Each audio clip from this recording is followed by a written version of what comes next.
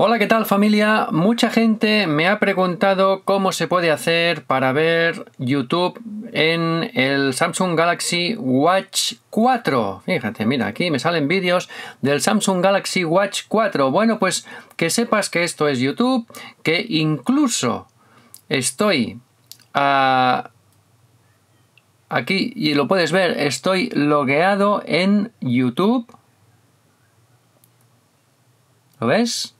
Aquí tenemos YouTube y claro, la gente me pregunta, oye, pero ¿tenemos la aplicación de YouTube en el Samsung Galaxy Watch 4? Y yo le digo, pues no, no la tenemos, pero tenemos alternativas que no necesariamente tienen que ser eh, cosas ni ilegales ni nada. De hecho, es que es una novedad de Samsung que Endrino. Vamos a buscar Endrino para que veáis cómo se reproducen los vídeos.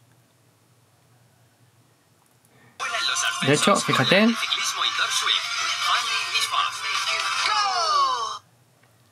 Aquí el... No hace nada, el, el, bisel no hace nada. Se puede ver a pantalla completa. Podrían quitar directamente, porque si este reloj no mide el oxígeno, no muestres aquello de sin datos de oxígeno que queda feo. Pero bueno, aparte de eso, por todo el resto, bien. Yo creo que bastante bien. Y bueno, se me ha olvidado... El problema es que aquí... ¿Cómo sales de aquí, no? Pues con el botón atrás. ¿De acuerdo? Y lo tenemos, bueno, tiene las limitaciones que tiene, ¿de acuerdo? Pero tú me preguntarás, oye, ¿y esto cómo lo hacemos? Pues esto es muy fácil de conseguir porque es a través de el ah, de la aplicación Samsung Internet Browser.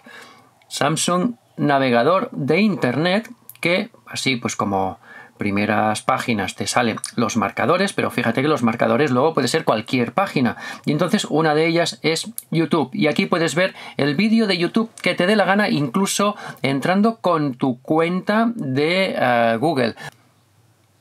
Y nada, y de la misma forma que veis YouTube, que ya habéis visto que se ve muy bien, podéis ver cualquier otra página web. Evidentemente va a ser un navegador limitado, pero bueno, de momento a la pregunta, ¿se puede ver YouTube en un reloj eh, con Wear OS? ¿Se puede ver YouTube en el Samsung Galaxy Watch 4?